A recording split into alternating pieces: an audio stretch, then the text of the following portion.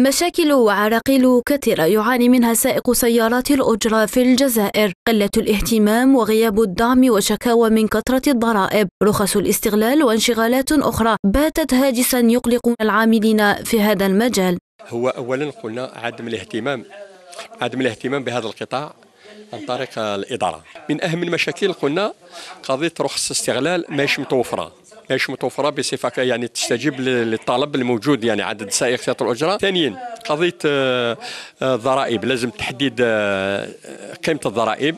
رغم العدد الكبير لسيارات الأجرة الذي يبلغ عشرين ألف سيارة إلا أن الإقبال عليها ضعيف جدا في ظل المنافسة الشرسة من أصحاب تطبيقات الهواتف الذكية وشركات التاكسي دون الحديث عن ظاهرة الكلونديستان اليوم فتحوا المقاعد كثروا التاكسي الله يبارك. كنا حوالي 8000 طاكسي في ولايه الجزائر. اليوم راهي حوالي في 20000 قضية ال application هذه اللي موجودة اليوم ظهرت يعني راهي شكل منافسة يعني تشكل منافسة غير شريفه في الميدان. اليوم راهي أه تظهر شغل des champignons.